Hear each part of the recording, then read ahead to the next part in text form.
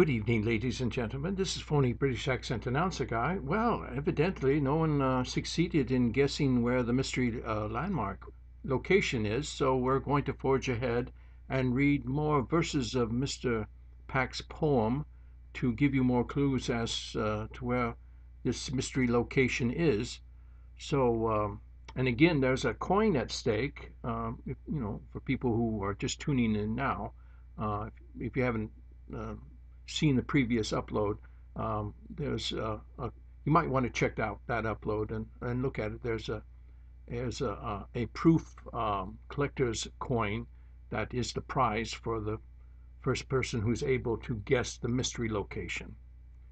So uh, also, uh, uh, Mr. Pack was going over the comments uh, earlier today, and uh, he well, there was only one comment. It was from Veronica, and she mentioned that um, uh, Mr. Mr. Pack's, uh, you know, when he was reading the poem last night, his voice didn't sound like himself, and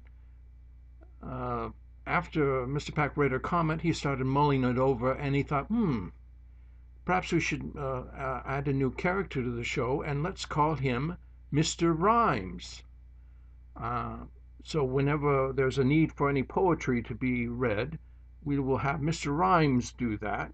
So uh, without further ado, we'll have Mr. Rhymes take over, except to say uh, his reading is dedicated to Veronica, for, for if it wasn't for her kind comment, Mr. Rhymes would not be in existence. So Thank you, Veronica.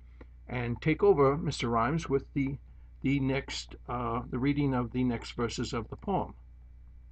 Now, hold on for a second. We'll get that set up right now. Okay, here we go. Go ahead, Mr. Rhymes. No guesser succeeded his attempts to purloin. It is still with me. I speak of my coin. The one-armed man above on his perch Continues his watch, with rep unbesmirch. Below him walk many, in the noonday light; Unless it is rainy, they stay out of sight. Shall I give more, more clues to relay? I do not think, at least not today. Thank you very much, and thank you, Veronica. Good night, and good guessing. Cheerio.